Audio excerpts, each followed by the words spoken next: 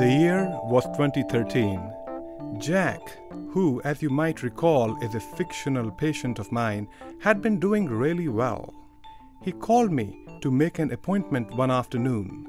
He had been anxious about his daughter and he had a dream that he wanted to discuss with me. Welcome back to Brain Politics. I am Dr. Rajiv Parinja, and today we are going to meet a character in our kingdom who is truly very ancient. If there is anything that you want, this neural system is driving it. This is the treasurer of the realm. This is the brain's reward system. This system continues to be the subject of tremendous interest on the part of neuroscientists. It is not fully understood, but we do know a lot about it. Today, I am going to take dreams and stories from Jack's life to demonstrate the rules by which it operates. There is one vital life lesson that we can draw from the rules that govern this system. Not knowing that life lesson can be detrimental to your mental health and well being.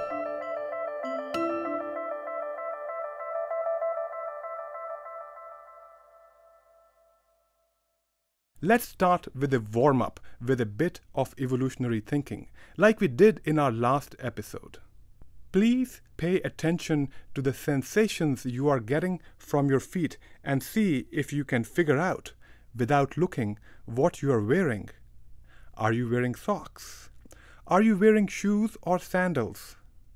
You can feel what you're wearing because that sensory information is being sent to your brain all the time by nerve endings in your feet.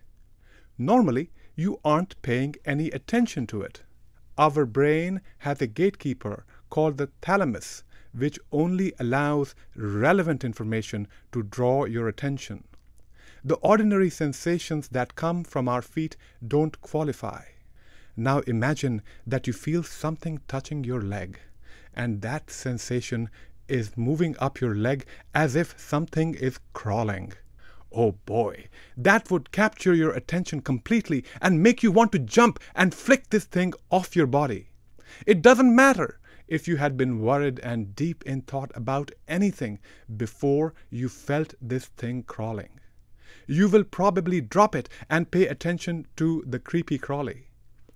Individually, the sensation of something touching your feet may not draw your attention, but something new touching your feet and then moving upwards is a pattern that your brain recognizes as an emergency situation which absolutely needs immediate attention. This, of course, makes sense because being bitten by a creepy crawly can be painful and dangerous. Let's take another example. Imagine that you had stubbed your toe shortly before you started listening to the podcast. Your toe is sending the sensation of pain, which is quite different from the sensation of touch. Pain pulls your attention and is unpleasant. The brain reacts to pain differently because there is a benefit to paying attention to pain. You protect the part that is in pain from further injury by guarding it from pressure, allowing it to heal. You also learn not to do whatever it is that you did to cause the injury in the first place.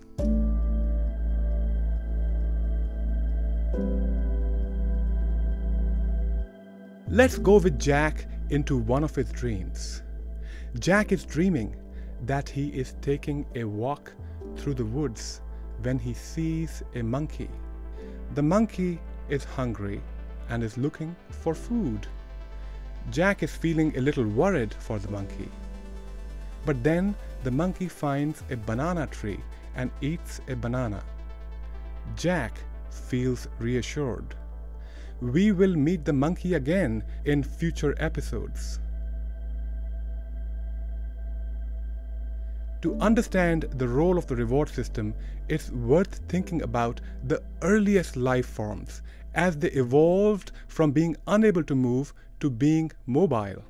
If we take certain bacteria, which can move, and put them in a sugar solution with less sugar on one side and more on the other, they will move towards the higher sugar concentration. This ability to move towards something that might be helpful for our survival is preserved across the animal kingdom. The reward system directs this by making us pay attention to things that have a relevance to our survival. It makes us want and like certain things. As we move to get the things we like and want, the reward system also helps us learn to do what works to get the things that we like and want. Of course, our brains are complex, and the reward system can't just want one thing and stop at that. It must take into account what else is available that it could want instead. Should it want less of the things that are difficult to get and more of the things that are easier to get? If it keeps getting what it wants, should the reward system still want it as much? Or should it want it a little less? The brain's treasurer tries to deal with all of these issues, and in this episode, we will take some stories from Jack's life to learn the rules that govern the answers to these questions.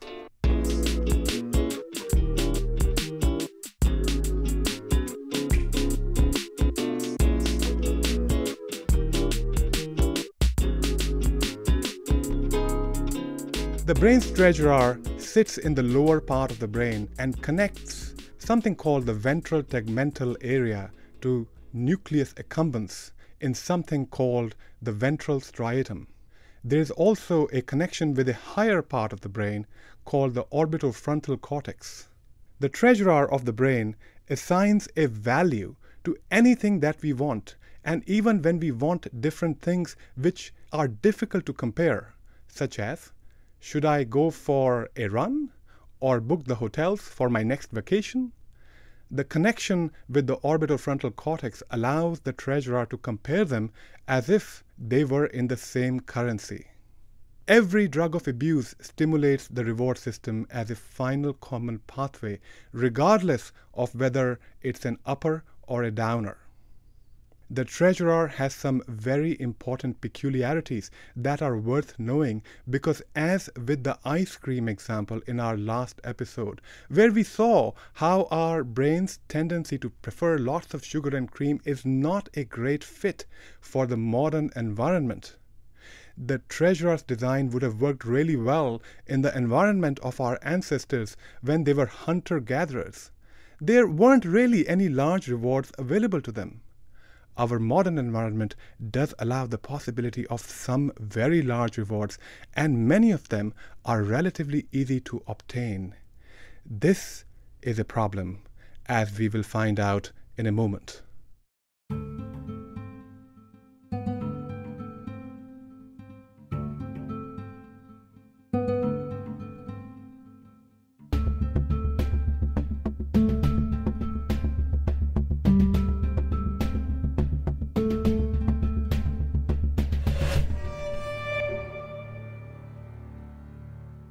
Jack has been an addict. He is in recovery at the moment and he has been sober for many years. He has followed the 12 step programs very thoroughly with excellent results. In the early part of his recovery, he had many relapses. He understands that you can't just start and stop using recreational drugs as you wish. Addiction is a disease which changes the brain, which makes it incredibly difficult to just stop the drug use when you feel like it. But he wants to know why. Let's take another one of Jack's dreams to look at a peculiarity of how young people think about addiction. Jack's daughter Becky had started high school. Some of her friends were using marijuana. One of her friends was sharing her prescription Adderall with another friend. Becky thought this was all quite normal.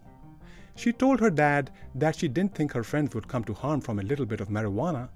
She had herself never used it, but she had thought about it. She would not commit to not using it. She told her father that she did not think that she would be an addict just by using a bit of recreational stuff. Jack found that frustrating. His recovery from addiction had taken a lot of effort and a lot of time. He didn't want his daughter to go through the same process and pay the same cost as he had had to pay. He wanted her to learn from his mistakes. He had been thinking a lot about this when he went to bed one night. He had a strange dream that night. In his dream, he saw that his daughter had started using drugs. She was buying stimulants from some kind of a phone order drug dealer.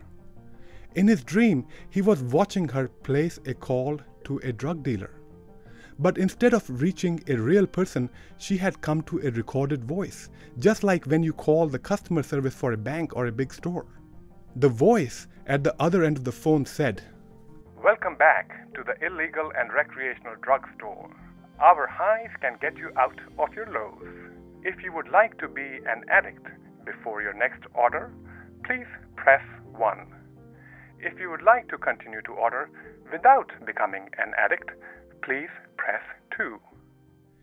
Jack felt furious. He wanted to get Becky's attention. He was calling out to her, but she wasn't listening. So he started shouting, and then he woke up.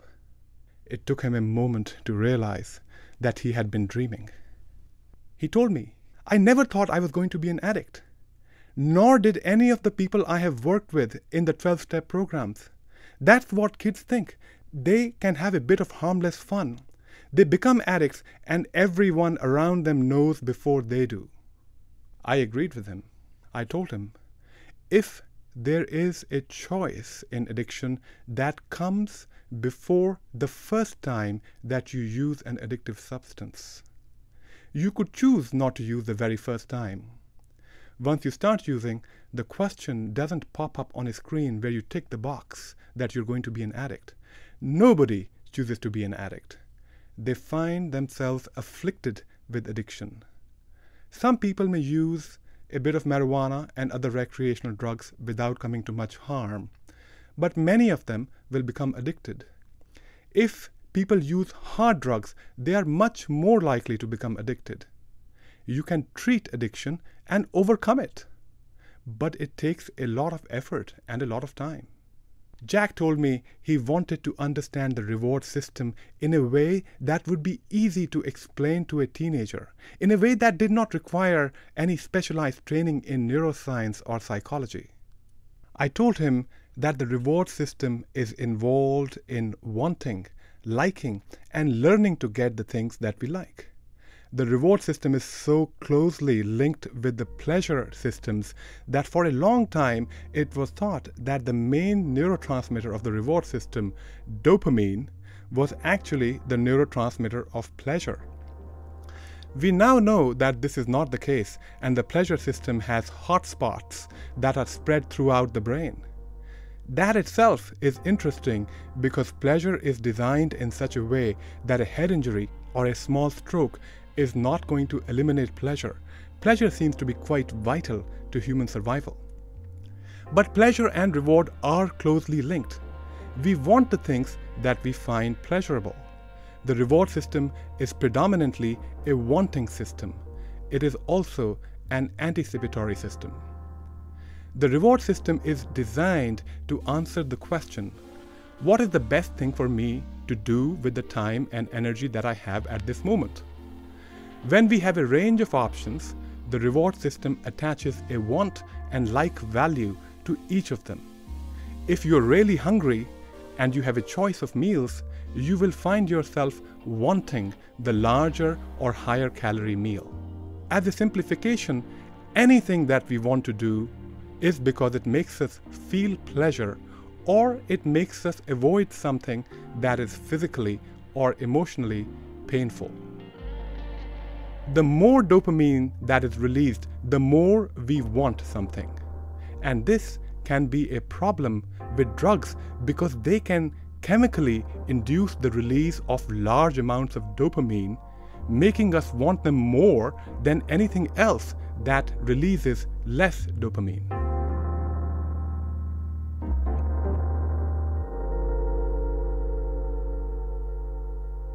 As the brain's treasurer, the reward system keeps track of future possibilities and determines how much you like each possibility. You might be looking forward to getting a raise, a promotion, buying a house, getting married, getting divorced, having children, or finishing off a project. The reward system works for the small things as well. You might look forward to finishing your morning walk. You might look forward to getting some lunch. At times, our minds wander to the future and we anticipate getting rewards. When thinking about the future reward, we also think about the strategy to get that reward. The reward system also closely tracks the discrepancy between the expected reward and the actual reward. If you were not expecting a pay raise but got one, you would find that more rewarding than getting it when you had already expected it. Similarly, if you had anticipated getting a large pay rise but got a small one, it will draw your attention and make you upset. The reward system has some peculiarities which can be summarized in about 10 rules, which we will learn from stories from Jack's life.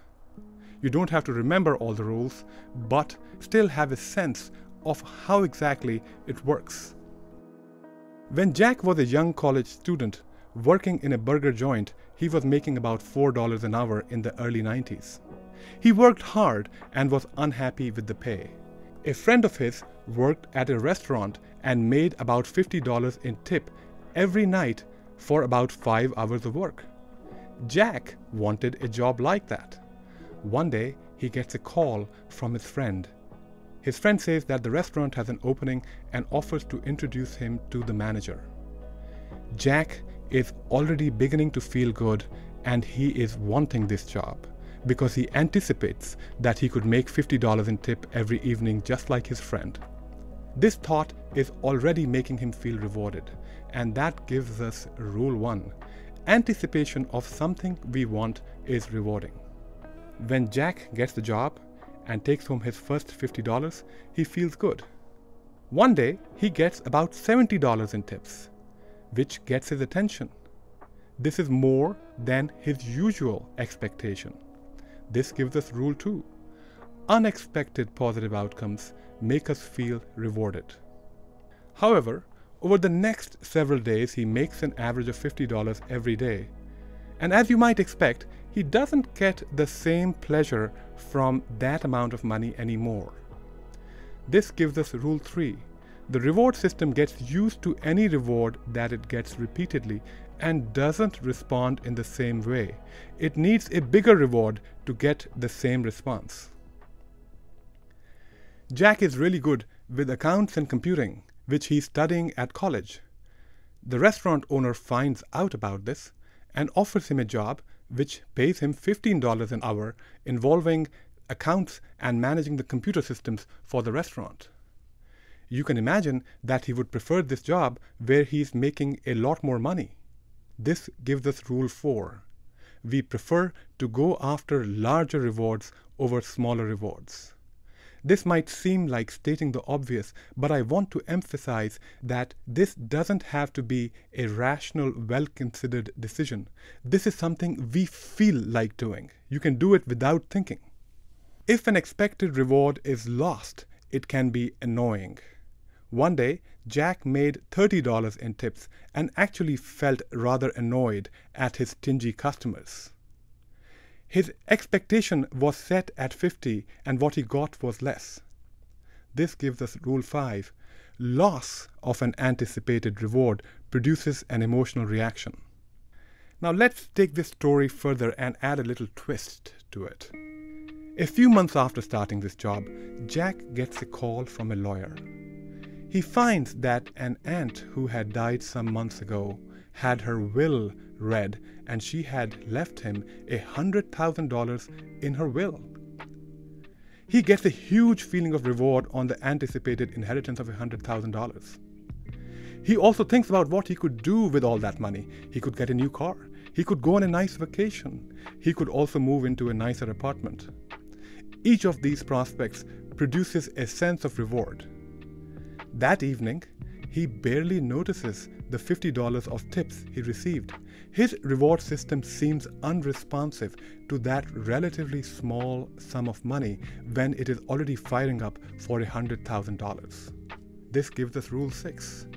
When our reward system is responding to very large rewards, it responds less well to small rewards. Jack is waiting for his inheritance, and three months pass. He's feeling a little anxious, so he decides to call the lawyer. The lawyer tells him that his aunt had a lot of debts and liens which she hadn't factored into her will, and her assets were less valuable than she thought they were. The lawyer is not sure how much Jack would get, but offers his best guess. I don't think anything would be left. Now, Jack is furious. The reward that he had anticipated has been lost. He had planned to get a car and pay off some of his high interest loans. As his anger builds up, he's thinking about his aunt. He's also feeling angry towards the lawyer. He begins to recall every incident where he has heard of a lawyer being unprofessional. But if he had any good experiences with lawyers, those are not readily available to him at this time. A few months later, you can imagine that Jack has mostly recovered from the setback of the lost inheritance. He is once again working at the restaurant, making about $50 in tips. And now his brain is once again responding to that reward as it did before he had heard of the inheritance. This gives us Rule 7. After some time of not getting a large reward, the system resets and is again able to respond to small reward. Now, in this rule, I have said that the system resets, but there can be exceptions where this reset is only partial. Let's follow Jack through his career. Jack makes it big, and 10 years after his job at the restaurant, he is making $200,000 working for an investment bank. Jack has gone through the process of anticipating many promotions, pay increases, and gradually got used to them, and right now he's getting a regular large paycheck. Jack's company takes a big hit in the financial crisis and lays off many people. He finds himself unemployed and unable to find a job because no financial companies are hiring at that time. After a few months of unemployment, he's able to get a job as a manager for a restaurant chain for a salary of $50,000 a year. You can imagine that his reward system, which is used to getting $200,000 a year, is not really getting a huge reward from the $50,000. In fact, he has a colleague who is doing the same job and drawing the same salary. This colleague is earning the highest salary that he has ever earned. And if we compare Jack's reward system with his colleagues, we will find that Jack's reward system has a deficit. It's not quite responding the same as his colleagues, even though they're earning the same amount of money. And this is because he is used to something higher, which his brain still remembers. And this gives us rule 8. If we get used to really large rewards, we remember them, and our reward system makes us crave the large rewards and finds smaller rewards less satisfying. This can be permanent. Jack's physician was trying to help him lose weight. They discussed that Jack seemed to eat a lot of cookies. Jack considered his habit of eating cookies and found that even when he had eaten a meal and felt so full that he left some of the food uneaten, he would still go and grab a couple of cookies. He said, I don't really have any desire to eat them. I just do it without thinking. There is a lot of research that suggests wanting and liking don't always work in parallel. Our brain can learn to want things that we don't necessarily like as much anymore. The wanting part seems to persist despite reduced liking after repeated use. We will discuss this idea further when we talk about habits, but here we have Rule 9. Even when we don't like something as much after repeated use, we can continue to want it and seek it. Jack had two friends who lived in his neighborhood who moved away in the same month. One of them moved 5 miles out and the other one moved 50 miles out. Jack likes seeing each of them about the same, but he found himself seeing the friend who moved 5 miles away a lot more because it took a lot less effort. This gives us rule 10. We factor in the effort it takes to get a rewarding outcome when deciding whether we want to pursue it.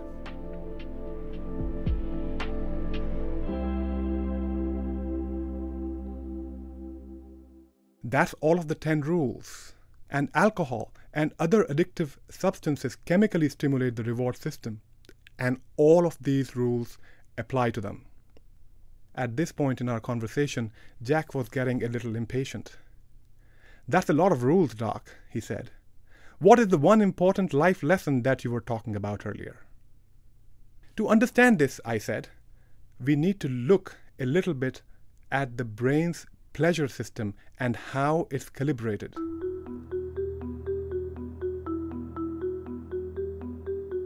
We can think of people as having a pleasure baseline. For Jack, on an average day, when he was not expecting anything particularly exciting or particularly bad to happen, he would wake up and feel about a 6 out of 10. So we walked through a common day and saw how his pleasure level changed through the day.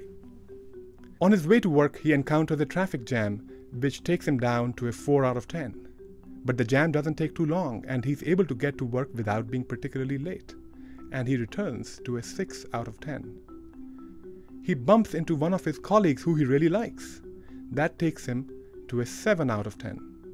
He sits down on, the, on his computer and opens his emails and sees something about a project deadline that he finds irritating.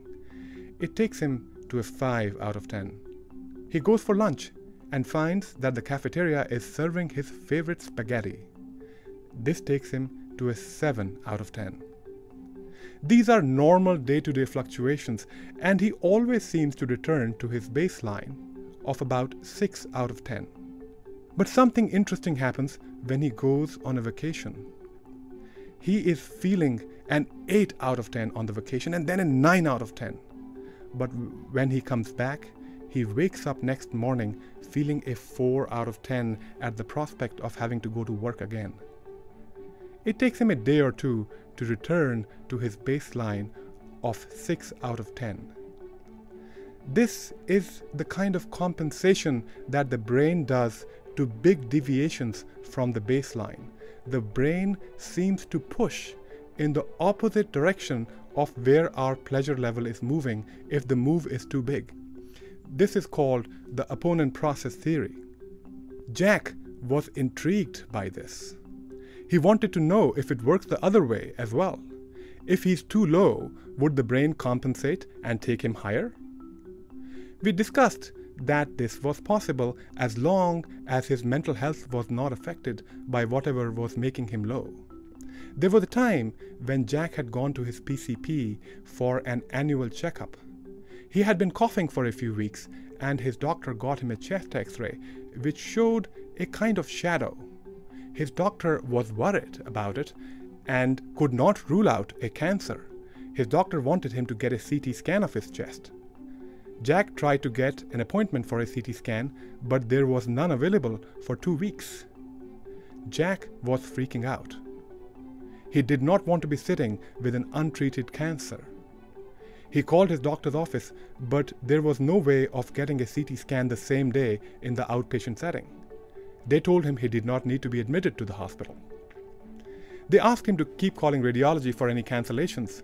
For the next two days, Jack was feeling a 2 or 3 out of 10 with his stress and anxiety. On the third morning, there was a cancellation, and he was able to get a CT scan which showed no abnormalities. The shadow on the x ray had been an artifact. That day, Jack was feeling an 8 out of 10 for the rest of the day. It is hard to recommend going down on your pleasure levels because this can trigger problems. Jack could have been left with anxiety or depression because of his stressful experience after the chest x ray findings. There are people who recommend doing difficult things, such as going on hikes or taking cold showers, which can be tiring or unpleasant but lead to a rebound improvement in your sense of well being. This may be a good idea as long as you don't do it in a way that puts your health at risk.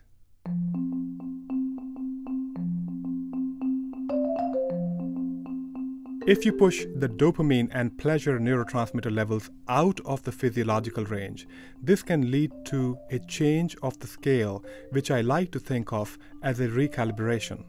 As an example, if Jack were to take a drug that feels like he's at a 20 out of 10, the brain responds by recalibrating the scale. Now the 20 feels like a 10, but the 6, which is his baseline, feels like a 3. If Jack would do that, he would wake up feeling a 3 out of 10 every morning and conclude that he just feels depressed all the time, except when he's using drugs. I hear this a lot from my patients. Now, many of them have trauma which has caused their baseline to be very low even before they started using drugs, but some of them had a normal baseline which dropped after they started using drugs. Stimulating the reward system by using substances that cause large quantities of dopamine release is a bad idea for two important reasons. One, it resets your priority system to prefer these rewards over ordinary day to day rewards which are readily available.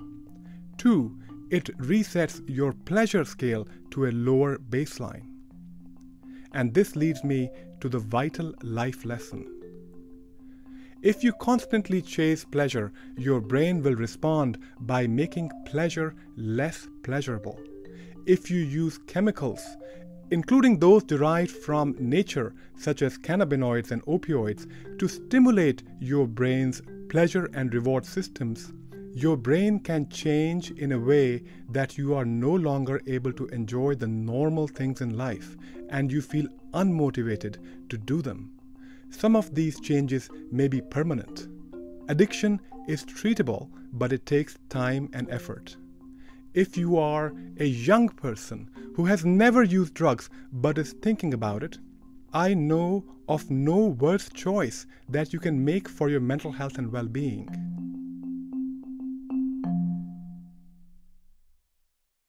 As we discussed in our first episode, this might make some people have some reactance, which is a normal response to something coming from someone with a position of authority. If you are feeling a little upset listening to this, it may be because I'm saying things that take away your anticipated reward. This is how the brain works. It produces emotions that make you want to act in ways that allow you to keep your reward.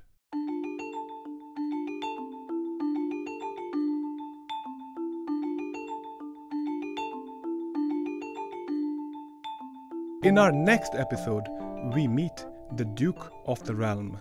This is the brain's emotional system.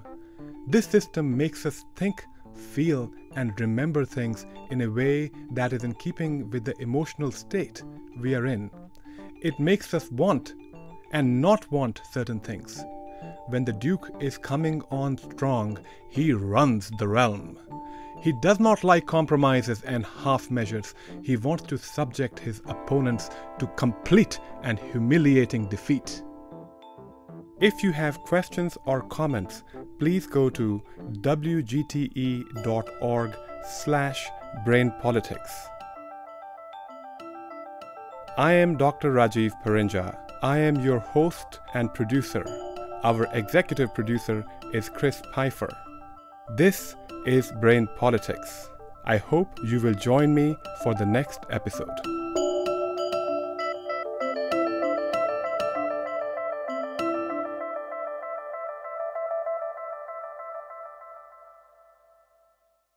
WGTE Voices Around Us. WGTE is supported in part by American Rescue Plan Act funds allocated by the City of Toledo and the Lucas County Commissioners and administered by the Arts Commission.